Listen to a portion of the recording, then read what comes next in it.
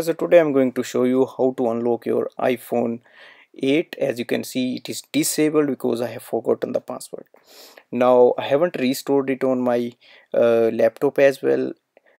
Now the first step is to check if your phone says the screen like disabled. It should not be saying like that. When just wait for the time it says on the screen uh, before you try to re-enter the password.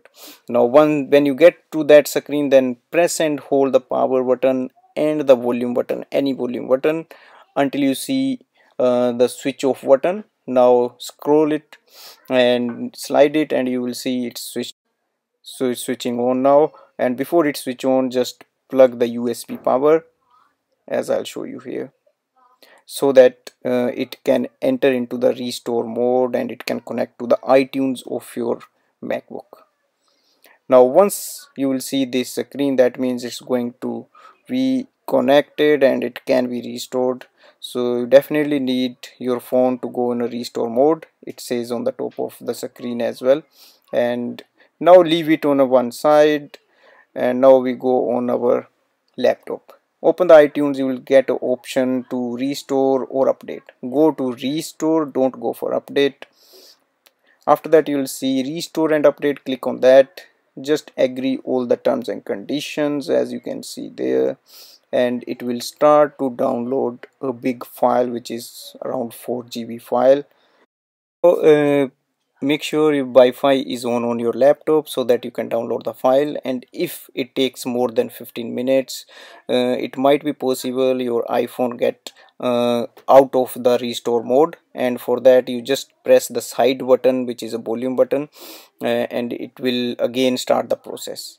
Or if not then you can just start the whole process again after you download the full file which is around 4 GB and that will save the time now it might be possible you get an error when you are doing this restore and you may be not able to know what kind of that error is.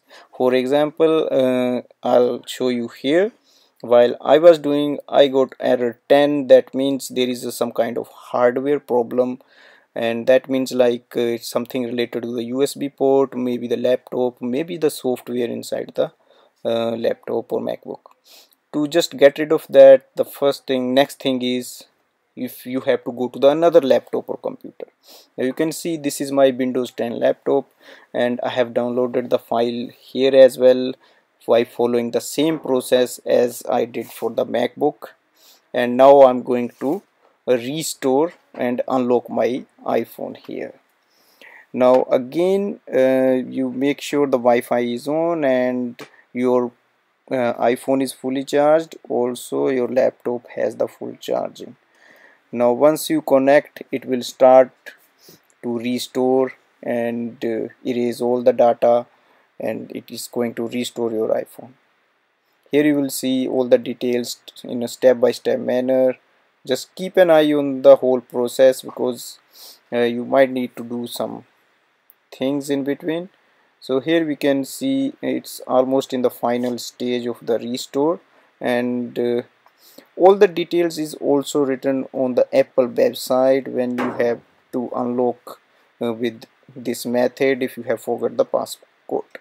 Now also there is a one precaution like there is a limit to enter the number of passwords when you are trying to unlock the phone. Every time you enter a password it will unlock for a much longer time uh, it will disable the phone for much longer time. Now just to avoid that uh, just don't try more than few times so that you can go under this process. Because if you permanently disable your phone then you might be not able to use it again. Now here in the final step you will see uh, the whole process is done. It says success. Your iphone has been unlocked now we can start the setup process. So just continue on the screen and you can just download the things you want.